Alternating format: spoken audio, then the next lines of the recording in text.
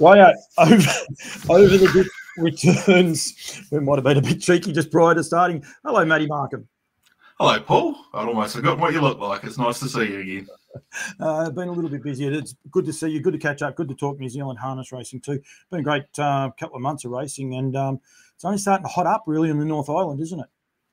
Yeah, obviously a massive week this week with a bit of Trans Tasman interest, obviously as well. Uh, of course, the race by Grins for the Pacers and the uh, the TAB Mobile Trot, which is going to be one of the most intriguing races I think I've seen in New Zealand for a very long time. Uh, obviously, we're talking post barrier draw, which has just added a little bit more spice to it, and I'm sure we'll talk a bit more in depth about that race uh, in the in the coming minutes, hours, days, weeks, months, whatever, however long we're going to talk for, Paul.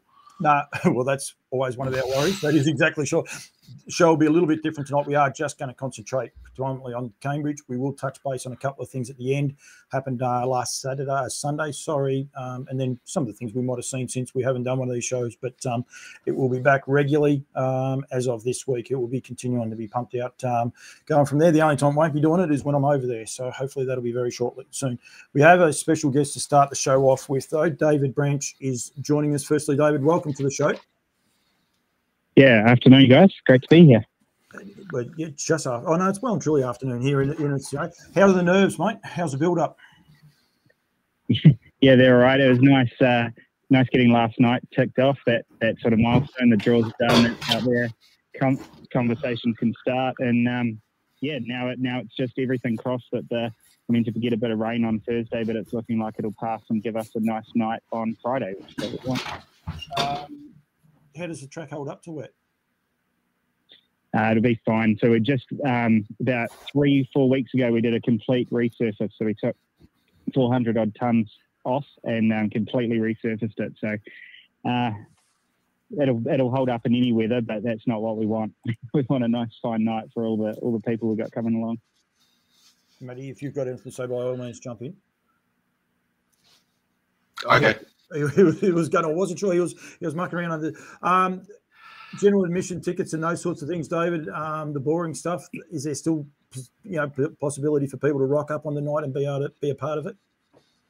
Yeah, definitely. So we're we're ahead of where we were this time last year. So we're expecting to land somewhere around high three thousands. Um, our goal is always to try and sell out at the five thousand. I don't know if we'll quite get there, but uh, late three thousands, early early 4,000 people on course, which is going to give us, uh, obviously, we've got such a great viewing track. Everyone will be trackside. Made some improvements from last year to spread the crowds out along the home straight a bit more. So, um, yeah, providing we get a good night's good night's weather, uh, I'm sure sure it'll be the atmosphere will be great. That was one thing I loved last year was the atmosphere. I spoke to Ellen Tormey, and we'll touch on that in a sec. Uh, but I spoke to Ellen Tormey about it, and I just said to her, I said, she's in for a, a real treat. It, it has a unique atmosphere, doesn't it, this night? Yeah, as I said, um, such a great viewing track with the grass the whole way along. But uh, you know, we we market it to non-racing people as as Cambridge's biggest party. So um, and trying to get that out all around the Waikato so people can come. Um, obviously, expose them to to the, the best harness racing we can we can put on. But um, yeah, also to just just get people here for a good time. Really, that's what it's all about as well. Outside of the racing, you've got a band afterwards. Yeah, so we've got uh, so being able to do our vision of having the after party on the track. So so that was pretty cool. So replicating that again this year. Uh, the band we've got coming over is Coterie. So they're a New Zealand born uh, but Perth based band. Uh, so they've just done a sold out uh, New Zealand summer tour. So it's pretty cool to have them over here and they're going to bring a lot of interest as well. So uh, the race by Grins will be the last race in past nine. We'll get the presentations done, the track cleared, and then uh, we drop the sensors and uh, everyone runs out on the track and the band starts up. So yeah, looking forward to that to end the night as well. And that, so about half past nine, caught the ten. You'd be expecting that to be rolling out. Yeah, probably about twenty minutes. So got to lace, uh, get the get the winning horse, obviously. Uh, presentations done off the track, and then we've got to lay some cables, put up some security fencing. But took about 10, 20 minutes last last year. So about at nine thirty, we'll we'll be into the party for for about an hour and a half. Yeah, and have, have a lot of fun. What else have you got planned, mate? Uh, what else we got? So we've got um, put a lot of work into trying to strengthen the undercard. Yep. So we've got uh, the Dorothy Cups um, Invitational, which is which is pretty cool. So that's uh, really playing on that Trans Tasman rivalry. So six of the um, six Kiwi lady drivers versus six Aussies. So just just to add another level of interest. I think from memory that might be race uh, race Four? three, No, race four. four, six- race four, 648. race four. Yep. 48, yeah, yeah. So that um, obviously having the, the level of talent that we've got there, one's coming across, and then, and then locally as well. That's just going to add something else to the night. Yeah, no, it is, and I know, as I said, I just did an interview with Ellen Tormey that'll get posted uh, probably after this one. Um, but yeah, it, um, she's super excited to go across there, and uh, yeah, just highlights the strengths of the ladies. A lot of guys probably wouldn't have heard about it, but Ellen's driven a thousand plus. I think she's nearly at I think one thousand one hundred winners um, in her career, and uh, yeah, she's a terrific lady driver. But a lot of people, you know, like don't know about her because um, that's just the strength of them. They're expected to do that. Yeah, yeah, no, it's awesome, and and as I say, just just adds to the undercard, um, gives that extra talking point, and um, yeah, it just lets us play on that rivalry even more, which is which is um, yeah, which is adding so much depth to the to the whole night. No, absolutely. Dave, do you do have any questions, Matty? Yeah, well, I'll put another hat on. Um, David, obviously, we're talking to a largely Australian crowd, and um, not many of them may be aware of the uh, the boys get paid movement that we've got over here in New Zealand. You've got a group of them on course tonight. Um, just how important do you think it is from a New Zealand racing point of view to have these guys, given the social media following that they've got and the amount of eyeballs that they manage to put on race meetings, um, having them as the part of your night must be must be pretty exciting. Again, I know they were there at the uh, the last instalment of the Harness Jewels a few years ago too, so got a good taste test of what they're capable of. Yeah, absolutely. Um, yeah, I think I think you can't really understate the importance of of the of boys get paid and what they've done um, predominantly to thoroughbred racing in New Zealand. So to have that crossover on onto a harness meeting is is um, is absolutely huge. So uh, for anyone that doesn't know, yeah, they, they uh, absolutely bring the atmosphere. So um, uh, I think it was one of the last. It was the last harness jewels meeting here. It might have been the last race that Dexter Dunn won, and there was about 150 people in the in the grandstand chanting Dexter Dunn, and so so you get that sort of atmosphere um, mixed with eyeballs on harness racing that um, that wouldn't otherwise be here. So yeah, as, you say, they're um, they're going to have a contingent on course, but uh, the strength as well is it'll be the first national um, punters club solely focused on harness, and um, you know they they absolutely dominate the Karaka Million hype and talk uh, for the thoroughbred. So it's great to have great to have that crossing over to the harness racing as well. They have uh, 27,500 followers on Facebook, I see, but it's a private group. I gather that's because it's a punting group.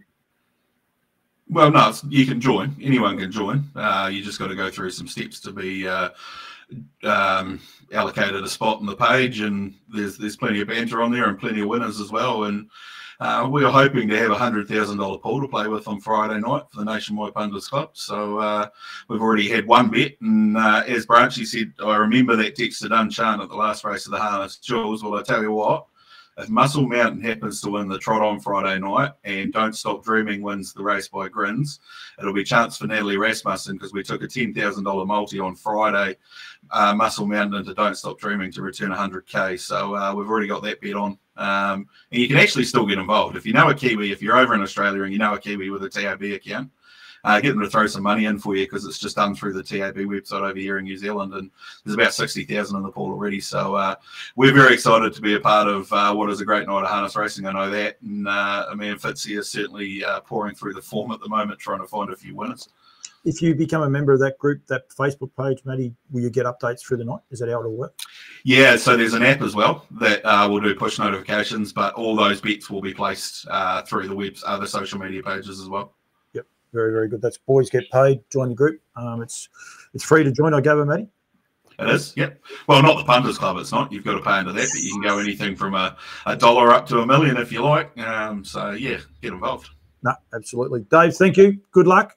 Um, great initiative from Cambridge. Um, you've got everyone over here talking as well. I was just talking to Louise Toolman. Of course, she's got the Harasta Trotters, Yabby Dam Farms um, hat on, but she said she's never just heard anything quite like it. It's just massive the uh, the attention it's garnered over here. Um, got a lot of, I would imagine, administrators over here a little bit envious and jealous. Um, and hats off to you guys. I think that's awesome. Yeah, cheers, Paul. It's it's um it's it's amazing to see it all come together, but a lot of hard work uh, goes in behind the scenes. Is certainly not something I could ever do on my own. So fortunate to have such a good team here um, behind me and, and a board that are so supportive that lets us, you know, roll the dice on some of these things. And and yeah, we couldn't be more excited. No, well done. Thank you, Dave. Good luck. And uh, awesome. actually, Dave, Cheers, if you've got a if you've got a new hat, don't be scared to send it. You know your address. No, I'll get I'll get one to you. Easy. Thank you very much, mate. See ya. All right. Catch you. So David, David Branch. Don't look at me like that. I saw the look. You're like, oh, he's There's not. no such thing as a free lunch in Paul Campbell's world. Mate, it's a, it is a, a, a massive, massive meeting. Um, are you guys over there getting the vibe from the Australians? Like, is it is there that feedback coming back? I imagine it's big in New Zealand, but the feedback coming back, you know, what it means over here in Australia as well, especially this trot race. Yeah, I think it is the trot race at the moment that's mm. that's hogging the attention. Um, just with the fact, you know, if we'd gone back six months ago, let's say for instance, um, Call Me the Breeze and RC Phoenix, both of them hadn't beaten Just Believe. You. That's happened in the in the last handful of starts. So all of a sudden, that little aura that was sitting around uh, Just Believe isn't quite as strong as what it was. And I'm not saying that they're going to beat him again uh, this week, but I mean, I'm a big follower on Twitter and social media, and oh, sorry, it's X now, not Twitter. Um, and and a lot of obviously Australian harness racing people are on that platform, and there's a lot of talk on there, which is exciting to see. And I think it'll only ramp up as we get closer and closer to race night too. And from a New Zealand perspective, having that many eyeballs coming in and enjoying uh, what we're putting on show over here in New Zealand is really, really exciting. And obviously, the the long term benefit too with some of these horses sticking around for some of our other feature races in the coming month to six weeks. Yeah, um, some horses might be going overseas. Some horses might be hanging around and staying for some good races, which is really, really good. Uh, give the NZB guys really culminates that May 23rd, 24th time slot with the Weanling sales, and then Rowe Cup, Auckland Cup night on the 24th. So it's going to be a massive, massive night. And, um, you know, hats off to New Zealand. I was there two years ago, Matty. Before we do a form thing, I was there two years ago. It was doom and gloom because everyone had to take a haircut because there was um, stakes reduction. Um, now, you know, there's a lot of Aussies wanting to move to New Zealand, which is pretty cool. Yeah, it is, and I, I, think we're on that upward trajectory again. Um, there, there are some things that still need to be tidied up within the industry. I think that to make it long term successful, but the the introduction of Entain here, I really probably can't stress just how much of a positive impact I think that's had on racing in general in this country. We're seeing things that we never thought we'd see, um, you know, and these sort of races like what we've got at Cambridge on Friday night are the future, I think, and a lot of other sort of little mini series, mini races that we're starting to see creep into the calendar as well. So we're in a good space, and you know I've been a journo and involved in this industry for 36 years now. And if I had a dollar for every person that told me, or every time I was told that the industry's uh, going to be dead in the next 10 years, uh, I'd be a very, very rich man. I probably would have punted most of it, to be fair. But, um, you know, I, I get really tired of hearing that conversation because you know there are still people out here that that love what they do and are happy going to the races and happy racing their horses, whether it be at Cambridge on a Group One night like Friday night or Methven on the grass on a Sunday or Timaru on a Wednesday. It doesn't matter, you know. Uh, we're in a good space and we're going forward, and, and any change is good as far as I'm concerned.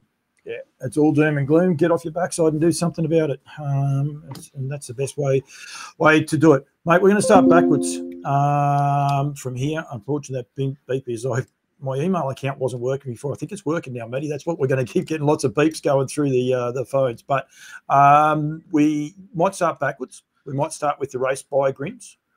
Are you right? You lost the audio. I'm just turning you off. Turning me off. There you go. I can hear you again. Okay, something. I was seeing you doing funny things. We'll start backwards, Matty. Um, we're going to preview um, the races, but we'll actually start with the Grins, which is still like it's a million dollar race. Um, we say how much the trot race is. No, he's got no audio. I have all. no sound. What happened? I haven't touched anything, mate. Um, you talk for a minute, and I'll figure this out. I'll keep talking and see. You see if you can find it. Can you find it at all or not? There we go. You got it now. We're back. So wonder what happened then. Oh, I think my headphones died. Oh, the volume, the uh, battery. Yeah. All right. Yeah. Right. It's been right. that long since I've used them because it's been that long since you rang me. So um, I forgot to charge them. but we're good now. Right, carry on. I'm getting that out. No, we, oh, we're going to leave it in. Oh, we'll leave that in. Who cares? We didn't say anything. No, I better not. I better get rid of that finger. Hang on.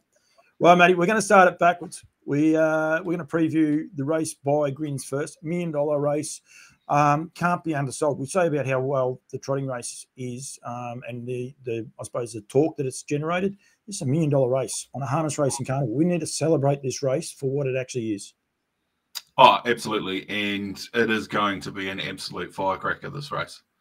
Out of the gate, especially that first 200 meters is going to be. You go through that field, you've got Kango who can leave the gate, Don't Stop Dreaming who can leave the gate, Old Town Road who can leave the gate. Don't underestimate how quick Max Shard can get out. And then you've got Merlin drawn five with Speak the Truth will come into barrier six and Better Eclipse at seven. That is a very, very quick front line. Um, most people will look at that race and go, oh, well, Natalie's just going to stroll to the front and lead and win. Well, it might not be quite that simple because there's going to be that much pressure going into that first bend uh, coming from out wide that, yeah, something's going to have to give at some point and someone's going to have to back out. And it's going to be really interesting. But I think the barrier draw for this race has just made it so much more intriguing. I think, it, yeah. That, that in itself is interesting because, as you say, people say "Don't Stop Dreaming" is just going to find its way to the top. I don't think that's uh, that's the case. I think people are underselling a couple of horses in the field too. Um, so th- th- there's definitely that. You you mentioned last week's race, um, and you said it threw up a lot of stories. For mine, last week's race stamped Merlin. He's a horse that I've always loved and got a real soft spot for, and how strong and dominant he was last week. Now I know there was horses behind looking for runs and and all the rest. He did all the work he he had the toughest run. He did all the work. He was the one out there and, and doing it. Yep, he might have to still do a lot of work in this race here, but he's just a jet, I reckon. Absolutely. Um, and if you put them in a straight line and run them up and down 100 times, don't stop dreaming in Merlin, that is, it's probably going to be a 50 50 split yeah. between them. Oh, I've got no doubt about that. Um, to me, I thought Don't Stop Dreaming's run last week was as good, if not better, than Merlin's for a couple of reasons. Merlin got yes, it did it tough, but he actually got to control the speed from Park. He set the tempo for that race sitting Park. Zachary did. Obviously, the stablemate being inside him helped a little bit there because he was able to control it. Um, to be coming that wide around that last bend at Cambridge and finding the line in the manner in which Don't Stop Dreaming did, I thought was exceptional. But then again, there were five or six horses in behind that were equally as strong through the line. I would throw my head up in the air and say that if Self Assured got clear at the 200 meter mark, he won that race last week. Yep. He's out of doubt in the world. He still hasn't got out. No, no. um, and he's won this race before. I really believe that him and Mark Purdon have just had a bit of alone time over the last three weeks and they've just been quietly working away together. And I know having a conversation with Mark and Nathan probably three, four weeks ago, there was talk of retirement because they were starting to scratch their heads a little bit about him. Uh, well, after that run last week, he's right back. And if Don't Stop Dreaming doesn't find the front for some reason, guess who's going to be following him every step of the way? Self assured. Yep. So, I mean, you can make a case for any of them. Old Town Road was very, very unlucky last week. Um, Max Shard found the line well. So, the Kiwis in this race are all on track as far as I'm concerned. Even South Coast Arden, I thought was good last week. Throwing in Speak the Truth and Better Eclipse, who have drawn the outside of the front line, does throw a little bit of a spanner in the works for them. But I think we will see, particularly Speak the Truth, going forward at some point and trying to get up onto the speed. And if we a Don't Stop Dreaming in front, Merlin sitting parked scenario when he comes looking, uh, then it's going to be very interesting. Yeah, absolutely. It's, a little bit disappointing the way the draw has worked out because those two horses didn't partake in that race last week, and I think they're the only two horses that weren't in it. Um, and then they get the outside barrier draws. So the intrigue of them not being in that race has sort of nearly been negated through their barrier draws, unfortunately, hasn't it? It has, and I actually feel sorry for Better Eclipse because I don't think Better Eclipse has ever had a good barrier draw in any run it's had in New Zealand since it's been with uh, Jess Tubbs and Greg. So uh, not eight, sorry, is not an ideal draw, but he went a super race last year in this race, run fourth. Um, and he's the sort of horse that if something ridiculous happens up in front and he tracks into it, well, you know, he's going to finish off the race strongly. So it is probably one of the more even Group One races I've seen, for, or listed races I've seen for a very long time, and uh, a lot of it's going to come down to what happens in that first 200 meters. And oh, I've got some phone calls to make in the next 24 to 48 hours to try and figure out how that's going to unfold. Um, great for Kango. Well done, Arna Donnelly, getting in. And Barrier One really throws him into the race now. Um, gives him a good chance. He's going to be, at worst, you would imagine, three fence. Um, yeah, he becomes a great top four option the way he went last week. Um, he deserved a place in the race for me even before yeah. what happened, um, to be fair. And having David Butcher out there just adds another dimension to the race because David's not afraid to do something out of the box. And we know Kango can really, really leave the gate when he wants to. So who knows? He might want to hold up around that first bend and then weigh up his options. So uh, I think he's a live top four chance. Uh, yep. Being on the markers over here in New Zealand is just liquid gold at the moment. If you're uh, one, two, three fence turning for home in any big race in New Zealand, you're a major, major hope no matter what. I think she was three the fence last year, might have been four the fence, and would have run an easy third, except yep. for uh, her manners leaving, uh, which was you know um, no fault of her own. But um, she was 100 to one, and she just gave everyone a great sight for everywhere up until the last 50 to 100 meters. So yeah, isn't it amazing this race? Before I get your numbers, sooner the better. Has not been rated a mention, and he's flying. He's just doing an amazing job.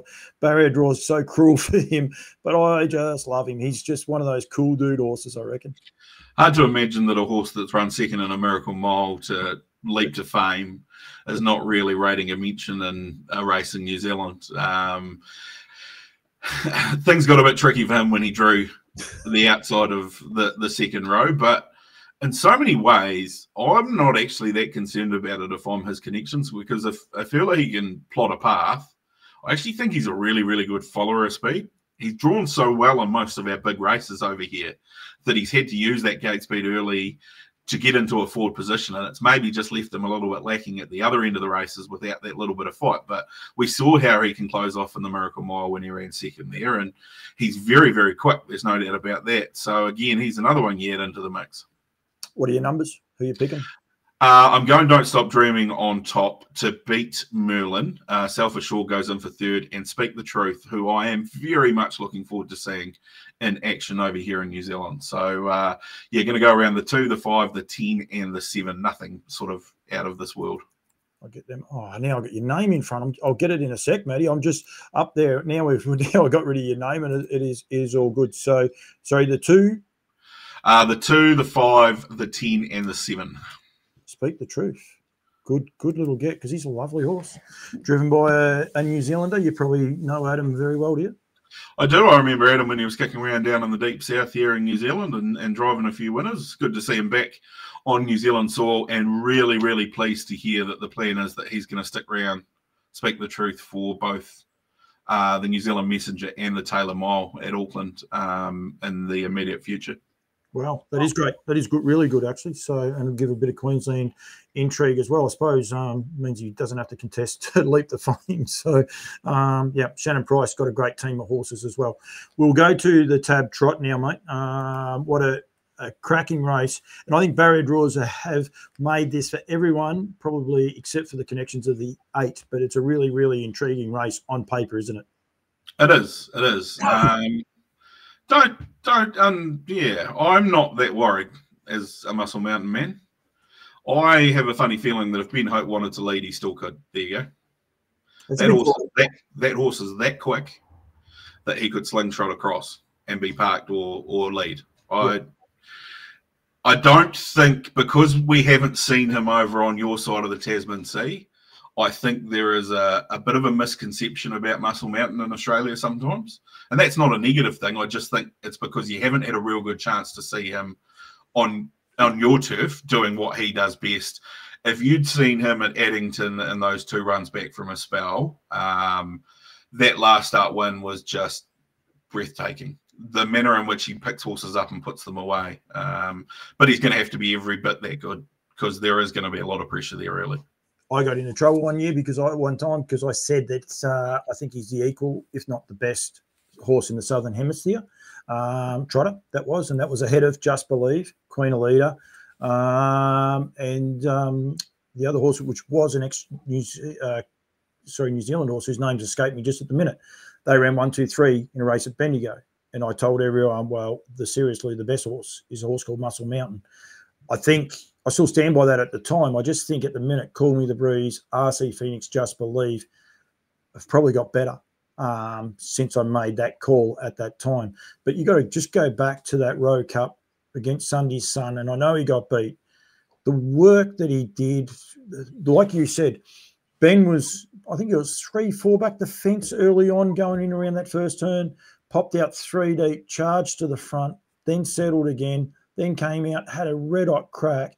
He did everything. And I remember Natalie Rasmussen came up and gave him a cuddle and said, That is as good a drive as you can get. It's unfair that you got beaten. He was he was beaten by a, a bloody good horse, Sundees Son. Another horse that the Australians never got to. So I think lining form up, and even Oscar.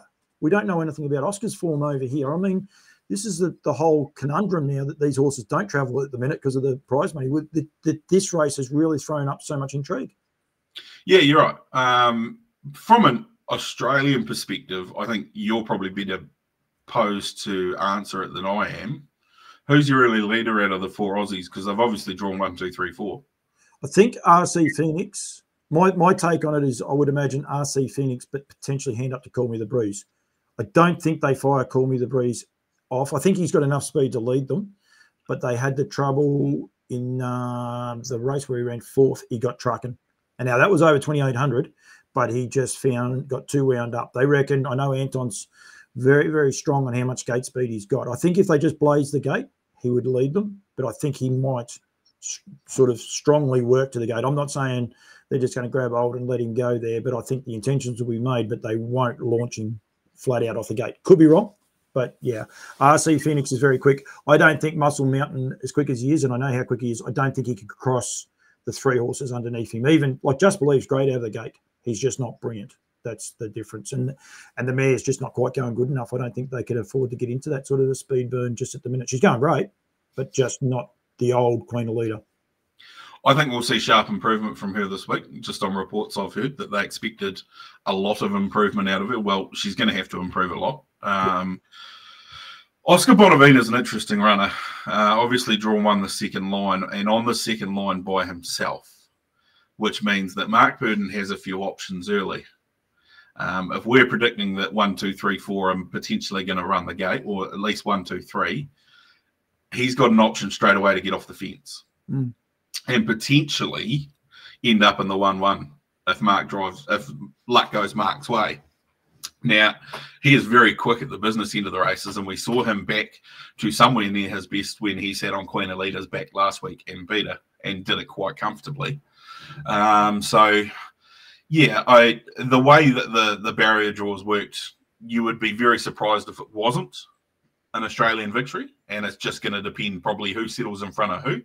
Um, but definitely don't ride, out um, either Muscle Mountain or Oscar Bonavina because they are two trotters that I've seen enough of to know that they are capable of doing something quite extraordinary if given the opportunity. And it would not be a surprise to me to see either of them win.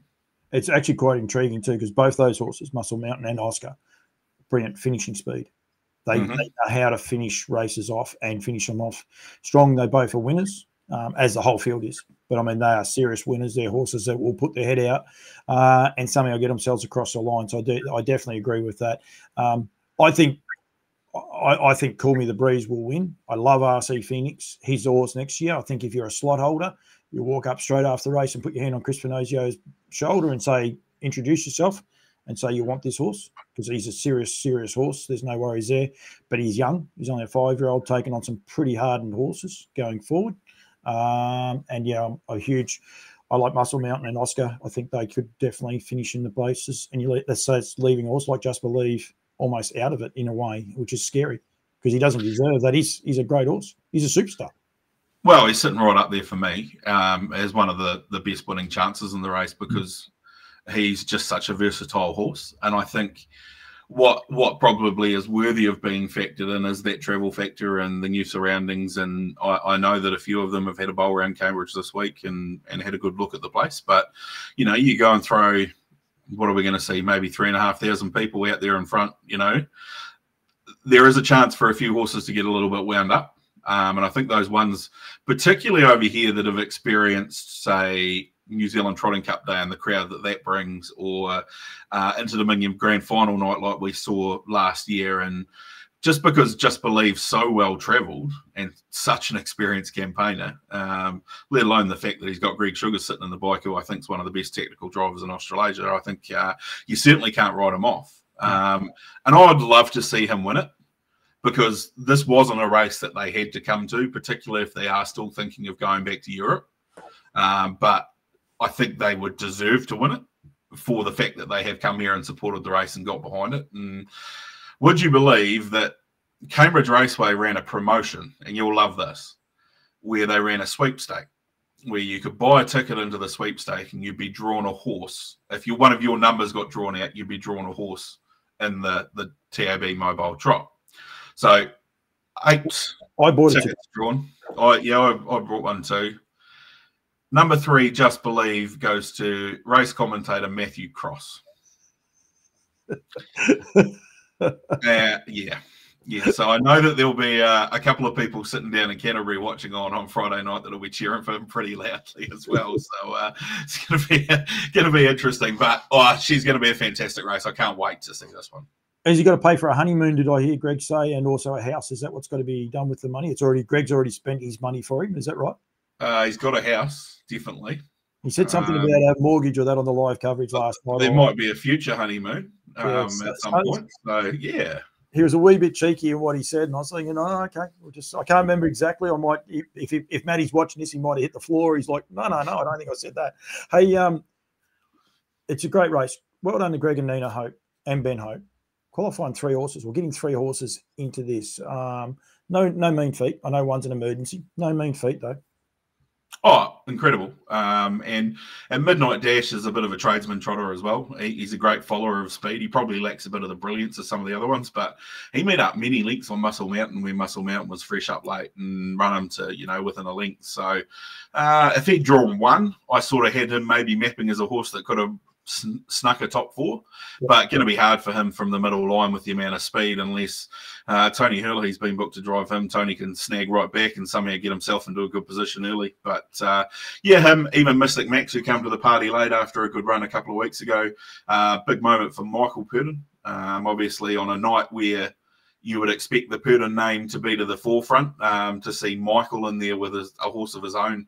Um, alongside, you know, Dad Mark and brother Nathan, who of course don't need any introduction. Uh, Michael's done a great job with this horse, and he's got one thing in his favour, and that's the country's number one driver in Blair Nathan Orange, who doesn't make many mistakes at all.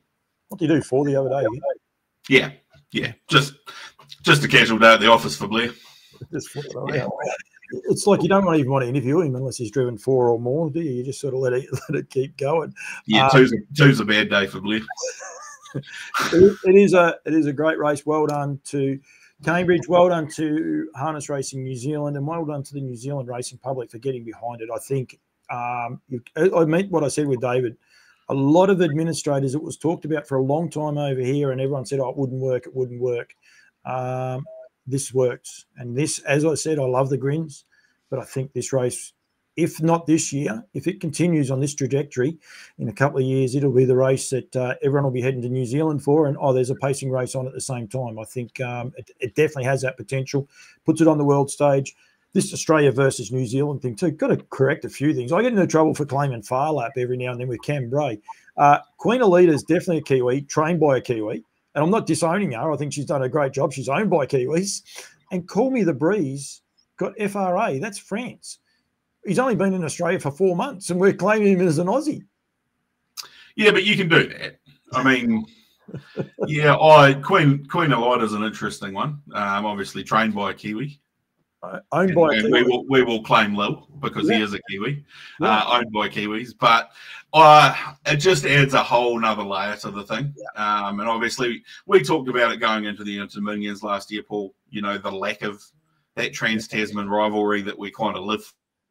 Um, and it, I mean, it's all in good fun. It's it's a bit of banter and it's a bit of a chance to you know have a bit of a dig here and there. But uh, you certainly won the barrier draw stakes. Um, and and as a true blue Kiwi, I I'm hesitant to say it, but I will say it. I hope that's the only thing you win uh, over the course of the week. I'd be surprised if one of the Aussies doesn't win that one. I must say. So, but anyway, it's, it is a, a great race. We could go through the whole card. The one other race I did want to touch on because we do have a few Australians. We've got. Uh, I'm in trouble. I'll get into trouble there. But anyway, there's at least six. Is there? Must be six because there's no. Mhm. So yeah, six Australian ladies taking on each other in the Dorothy Cuts Invitational. This is they're building something over there at Cambridge, aren't they? They are indeed. Who doesn't um, know the backstory? Dorothy Cuts was the first woman in harness racing in New Zealand to win a full totalizer race. Yep. Uh, and incidentally, she actually won it at Cambridge in 1970. I think off the top of my head. Hang on, you just, Um, you just cut out. What date did you say? Because I actually know. 1979. Yep. Yep. Yep. Uh, I'm trying to think back, and I think the horse's name might have been Kenworthy off the top of my head. But uh, I actually, um, Dorothy is is still alive, and she's very excited to hear that there's been a race named in her honour, and uh, it's going to be it's going to be really really exciting. So uh, it's good to see, good to see uh, the Australian flavour there. Um, did we actually work out which side of the the Tasman Sea Natalie Rasmussen sits on? She's Um, she's an Aussie. Hang on, Dorothy's going to be there. I can tell you that too. Dorothy will be there on the night. She's going to. Oh, which is which is excellent. That that that's that's so cool. Um, and I mean, it's a good chance for a few of our South, South Island drivers who perhaps have never driven at Cambridge. I don't think Kirsten Green has ever driven there. Reading a Facebook post earlier in the week, so she's going up to have a drive. Um, Emily Johnson, who of course is from Australia, but has been driving here in New Zealand for the last month to six weeks. Um, she's a part of it. So, yeah, it's going to be uh, another exciting aspect to the night. I think Emily. So Emily's representing Australia, but I think she's a Kiwi that went to Australia Yeah, and then came back because unfortunately someone pulled out. So that's the reason why. If anyone turns around and says no, she's a Kiwi. I think. I think Emily's just the um, UN. She's the United Nations of uh, of this. She's she's working for Australia because we need one more in our team. And I mean, well, when that if that's the case, then we'll just take Natalie because she's lived here for over ten years.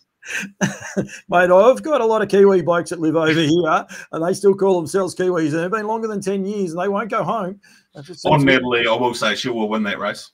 she will. Um, she drives skipper for Tony Herlihy, who uh, races in the colours of For Real. Who, uh, sorry, it's out of For Real, who was a very, very good race mare trained by Tim Butt, uh, multiple Group One winning Yeah. race mare. Um, so, yeah, he is doing a super job, skipper. He was such a good winner at Cambridge last week. Um, and I'm sure Tony Herlihy would have had a wry smile on his face when he saw Ian Rasmussen uh, sliding into the bike to drive his horse um, in what's going to be a great race. Yeah, well, there's some dead set racing royalty. We've got Kerryn Manning, the most winningest driver in the world. Nikki Chilcott, up until middle of last year, late last year, she was the leading New Zealand driver. Of course, Sam Ottery is now the leading lady driver, sorry, female driver. Brittany Graham, Amanda Turnbull, Ellen Tormey, I said that, the Queen of the South, if you like, Kirsten Green. Um, we've also got, where is she? Yeah, Sarah O'Reilly um, in that, who's now having the first year as a senior driver. And then Crystal Hackett and Emily uh, I actually forgot Sheree Tomlinson. I'll be in trouble there as well. Um, but yeah, and then the two juniors, Crystal and Emily, they didn't look after them. They didn't give them a juniors concession help, did they? Uh, no, not looking at those barrier draws. Um, certainly, yeah, uh, outside of the second row for the both of them is going to make it hard. But it is a star-studded lineup of lady drivers, and I think it's awesome. And I think well done to those. I reckon Kirsten Green will cut a couple of laps around the track. She'll go running. She's back into her running, so she'll she'll run some laps of the track to get familiarised. That's what she'll do. Well, Natalie will probably run with her. Yeah. Um, she she ducked away in between races at Addington on Friday night to go for a run. So uh, yeah, Good for the there noddy. you go. She'll have a jogging buddy. Uh, yeah, it could be fun. I know one that won't go running with them. Kerryn, she will not. She might watch them, but she won't run it. And uh, I can say that because uh, I don't think Sarah Riley would join in either. No, No, the rest of them will get into trouble if we say anything. You know that, don't you? Um, correct. Rest of the night, mate. Um, what are the other race highlights that we can look forward to? Uh, there's Garrett Size Stakes three year old Colts and Oh, yeah. uh, the race after, and of course, uh, we walk by faith the Cold Chisel, Yeah. um, who of course one of or two of the leading three year olds over here in this country. Um, we walk by faith was very very unlucky in the Great Northern Derby, who which of course was won by Cold Chisel. Um, they both draw on the outside of the front line, so there's uh, a little bit of work for the pair of them to do. Vesum's finally drawn a barrier Um, but he just wasn't quite good enough last week for me to want to back him again. Uh, he was beaten by a very nice horse called Little Spike, who's worth keeping an eye out on, trained by Anna Donnelly. He's a son of Terra Love. He's very fast. But yeah, excited to see where you walk by faith. Uh, fantastic undercard. There's a great uh, Northern Championship Trotters final um, there's some really nice horses going around in there. Congrazia's Love, Joker's Hill from the uh, the Telfer barn. Um, Bernie and Michelle have got a runner in there. Dave and Claire McGowan, who have won a lot of trotting races in the last few months, uh, they've got a couple in there as well. Kez, and, you know, see Kez is driving one for him as well. So, which is interesting. She picked up the drive on Castana. Oh, nice. Yeah, excellent. So, um, yeah, it'll be good to see them going around in a really good country cups pace too uh, Republican Party, who's obviously the first emergency for the race by Grins, is there. Um, Jollymont, who's won his last three on end, another of Anna's team. Uh, Mark Purdon has been driving him. Yeah. He's super winning three at Auckland in a row. Um, be a good step up for him this week because there's some nice country cups horses in there who aren't going to hand it to him on a platter. But uh, yeah, just we touched on it with David, and that was always one of the things for me was building up that undercard on this night and full credit to David and his team at Cambridge because they've done a fantastic job. And um, it's not just the two races that you want to watch. There's actually some really intriguing stuff throughout the night. No, absolutely there is. I just want to highlight one thing for you before we get off this card here with the uh, the sire stakes for the three olds. It is a Victoria, Australia versus New Zealand. We walk by faith, bred in Australia, so we'll claim him. Uh, bred at Benstud, um, so he was here. Cold Chisel, classic Australian song, so we'll claim him. And then Vessem is um, obviously by Vincent, so we'll claim him as well. So, yeah, good luck to you Kiwis in that race. I reckon the Aussies might come out on top, mate. You do whatever you want, and I'll just say, aye, aye, Captain. a bit of fun. Rightio. Um, now, I, I flippantly said that we might skip over everything else. One, just a, a recap, probably uh, the meeting from Chevron. Um, I won't bring it up too much, and we won't have to go over about that. But there was a couple of nights. Oh, Cheviot. Cheviot, sorry. Um, on Sunday just gone, there was some nice little winners. Yeah, there was. Uh, Cran Dalgety's got a really nice two-year-old filly called Forever Dream. She's by down by the seaside. Um, just a continuation of the Crean and Chrissy and Carter run that we're seeing over here in New Zealand at the moment. They're flying beat a very nice filly and spicy crunch from the Telfer team. Now, the pair of them actually go to Winton on Saturday. They've got a great Carter racing down at Winton on Saturday afternoon for a $70,000 race uh, that's been a late addition to the calendar, and it's actually the first ever group race to be held at the Winton Racecourse at the at Winton um, in over hundred years of racing there. So uh, yeah, there it is. The Entane two-year-old fillies mobile pace, um, Spicy Crunch, Forever Dream. Nathan's got a nice horse there called uh, Captain's Mistress, I think it is, um, yes. who's done a good job. So yeah, she was a very good winner on uh, Sunday, and the Cheviot Business Cup was won by a horse called Mwanga. Uh, Regan Todd trained, Robbie Close driven.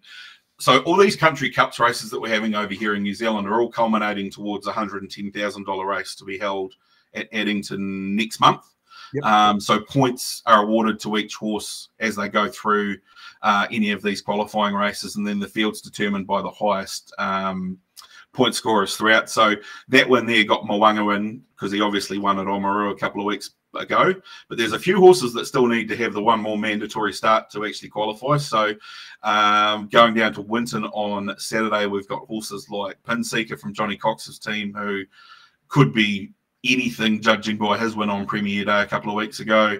And then there's the or oh, sorry, it's the Brown Pub Methven Mount Hutt Trotting Club Cup on Saturday at Methven. Um, so both those races meeting in a sec. So you're right, yeah. But yeah, both those races are qualifiers for that Country Cups Championship. So uh, it's shaping up to be an unreal field because you've got horses like Homebush Lad, Dalton Shard, and that that have been performing consistently. Uh, not many of them actually realised that a horse called Alta Meteor had actually already qualified for the final uh, before he went on a double group race winning spree over the course of a week, um, the last couple of weeks for, for Stephen Amanda Telfer and Johnny Cox. So uh, it's going to be a fantastic race. I think it's May 10. $110,000 two mile stand, I think, from memory. So Corbin, uh, Corbin Newman won it last year with one of the great salutes, and it was 150 to 1 from memory. Yeah. I can't think of its name. It's just uh, was it Mighty Louie? Yes. Yeah. Yeah. It was. Yeah. Yeah. Yeah. So uh, it's always a really exciting race, and I like the fact that it's been building up for the entire year to get to that point because it just adds a little bit more interest to it. So yeah, Mwanga did the job and qualified himself for it with a good win on Sunday. He was really, really good from a promising horse from Southland called Tech McLeod, who's uh, going to be a really nice horse in 12 months' time, I think. It's good. It's great intrigue. There's a couple of those names. Like I saw Pin Seeker win his second race, I think it was, uh, on the grass, and you know a few of you guys were singing his praises, and he just kept getting better and better. He's a he's a beautiful horse, and then you got Alta Meteor, like a, a tried tried and true. Dead set. So there's that little bit of intrigue going through as well of horses going up uh, and horses already there, established horses are, are, that are there. So there's a lot Well, of Uh, the good thing is that I was talking to someone about it over the weekend. New Zealand harness racing, particularly in that level below the Group One top top horses, is in a really good position at the moment. We've got some fantastic stock running around that are going to eventually take that next step and become New Zealand Trotting Cup horses, New Zealand Free for All, all those feature Group One races, and horses like Alta Meteor, Mwanga, um, Ahoka Connor, the likes. Um, Craig Ferguson's obviously stepping out Wagstar this weekend for the first run. Well, we know how good he is. The ones that were maybe two or three lengths behind the Don't Stop Dreamings and the Merlins as the three year olds are now stepping out and developing into being really race hard and good country cup horses who are eventually going to work their way to the top class, which is which is great. And you need that progression to keep those fields full as we go forward. And some of those horses that you mentioned there before, like a horse like Wagstar and those, they could jump on a plane and share a trip across here to Australia, but they don't stay in Australia then because there's No. enough prize money on them for them back there as well. So future race times, have them come out um, and go from there. And I, I can see more Australian horses heading across. There'll be more trotters heading across. Got no doubt about Mm. that. Um, right, Methven on Sunday. Uh, now you guys have got something uh, a little bit different, if you like. Uh, you did the what was it? The Three Wise Monkeys? Was it? Three wise men. It was Jeez, them monkeys. No, well, I thought that. I mean that in a nice way. It was um, Tony Herlihy, Maurice McKendry, and I'm in trouble too. Now his name's left me. He'll have a drive here. Ricky May got it. Ricky, Ricky May. Yep. Um, that was a brilliant day where they drove all day, all through the races. And you've done something very different with this meet, uh, diff- similar, sorry, with this meeting I gather on Sunday. Yeah, so what they've done is they've created the Anzac 18,000, which is a nod to the fact that between Chris Alford, Greg Sugars, Ricky May, and Maurice McKendry, there's 18,000 winners between them, which is quite mind boggling. Um, obviously, Maurice and Ricky, two of the top three most successful drivers in New Zealand. Um, Chris Alford, I don't think he needs much of an introduction, probably nor does Greg Sugars. So the club worked hard to try and confirm to get Chris and Greg to, to come down, obviously being Grins weekend and being the fact that they were here already. Um, and really pleasing to see that they have. So the way it's worked is there are six um, specified races throughout the day, and the top four rated horses in each race are allocated to one of those four drivers. Um, so, say for instance, Ricky May was to get the top ranked horse, uh, top rated horse in one race, he might end up getting the bottom rated, uh, the bottom of the four rated horses in the next race, kind of thing. So, the top four horses in each race over six races are allocated to those four guys. They'll shoot for individual glory and, of course, trans Tasman glory as well. So, um, it's really exciting. And um, I don't know whether Greg's driven on a grass track. I'm assuming. I think Greg has. I don't think Chris has, or it might be Yeah. way. One has and one hasn't anyway. So yeah, So it's it's quite exciting to see them all becoming a part of the day. yeah. So Greg may not have. Greg, Chris definitely has because they used to. We used to have them from time to time at um, what's the name? Orange. No, Moonee Valley. Moonee Valley. They used to have them back in the Mark day. Murray used to go back and call a grass track meeting. Was it at Orange Could have. Every year? Could yeah. have. Um, but really pleasing to see too that these guys aren't just coming down for these six races. I can tell you that they've, um, well, Greg in particular, because he's driving the entire Markham team over the course of the meeting as well outside of them. So they picked up a few outside drives too, which is good, and they're going to be a big part of the day there. Um, and we're getting right behind it with a bit of publicity and things like that, which is really cool. And um, just to see those guys out in action and actually acknowledge their contribution to the game um, is really important because Ricky and Maurice are both Miffin boys. They Yep. both went to school here, so that's really cool. Um, and obviously, yeah, uh, having having Chris and Greg here is going to add that little bit more, uh, continue that trend trans Tasman rivalry that we've been talking about for the last how long we've been recording? Uh, a while. Don't look at that. Um, yeah, absolutely. I think well done to you guys thinking outside the square, doing something different. I will be. Um, I've got a yearling parade, a yearling sale on that day, but I'll be keeping one eye on most of those races as well uh, throughout the day. I think that's uh, it's a great idea and it will no doubt you get a crowd there anyway at Methven. Um, all those grass tracks, you tend to get big crowds out. Methven's one of the more picturesque ones, that's for sure. Um, but well done. It'll bring a couple more people there, but hopefully get some scribes writing about people talking about it like you and I, um, and build it into something really, really good. So I think that's pretty exciting as well. Oh, 100%. And, you know, Newfoundland seem pretty committed to doing something similar each year at this meeting um, in acknowledgement. So uh, it'll be exciting to see what they come up with next after this one. But uh, yeah, definitely look, looking forward to Sunday and, and being out there and um, seeing the hype that those guys create. Yep. Matty, thank you good show. Uh, we will be, as I said, changing it up a little bit. We have got Diamonds Day coming up. We've got quite a few other things we might preview. Do a bit of long range previewing if you like with some of those. We'll touch on the two year olds. Keep changing it up. Keep trying to get it out there and get the message out there. But um, love talking New Zealand harness racing, mate. Thank you very much. Good luck on Friday night to you and the boys get paid. Have some fun, make some money, make some people happy. Yeah, that's the plan. Um, go out there with uh, a, a, game plan in mind, and we'll see how things unfold. But most of all, just trying to create that interest and get as many eyeballs on harness racing as possible. Um, I think we're going to achieve that this weekend, so pretty excited about it. And uh, go the Kiwis! Always a pleasure to talk with you, Paul. Yep, and as I said, Phar Lap is a purely Australian horse. Thank you very much, mate. right, see you, mate.